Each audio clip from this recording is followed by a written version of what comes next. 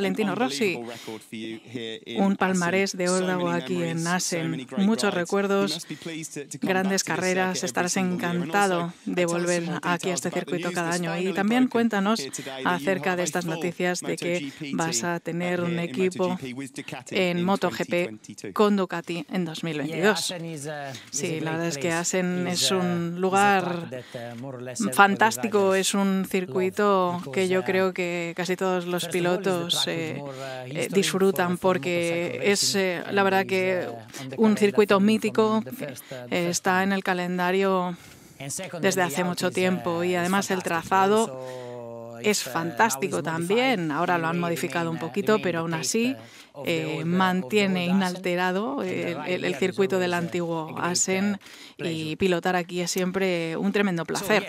Así que, desde luego, sí, también es oficial que para el año que viene VR46 tendrá un equipo en MotoGP y estamos todos muy contentos y muy orgullosos eh, por este proyecto que comenzó hace 10 años con la Academia de los Pilotos y con el equipo en Moto3, Moto2. Así que tengo eh, grandes profesionales que están trabajando en este proyecto y todo el mundo está de lo más emocionado.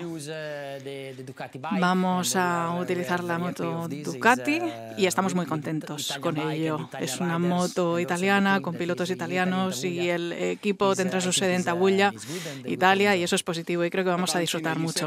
Valentino, dijiste hace un tiempo que llegaría la decisión acerca de tu futuro antes de la pausa de vacaciones o durante ellas. ¿Has llegado ya a una conclusión y si no es el caso, es una opción el que pilotes en tu propio equipo de MotoGP el año que viene?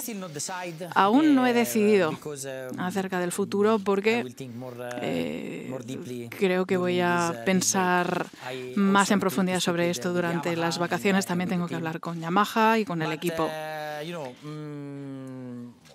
En cualquier caso, nosotros eh, queremos eh, tratar de cosechar mejores resultados y tener una mejor actuación. El comienzo de la temporada hasta ahora dista de ser fantástico. Así que será muy difícil bajo este punto de vista que pueda continuar compitiendo el año que viene.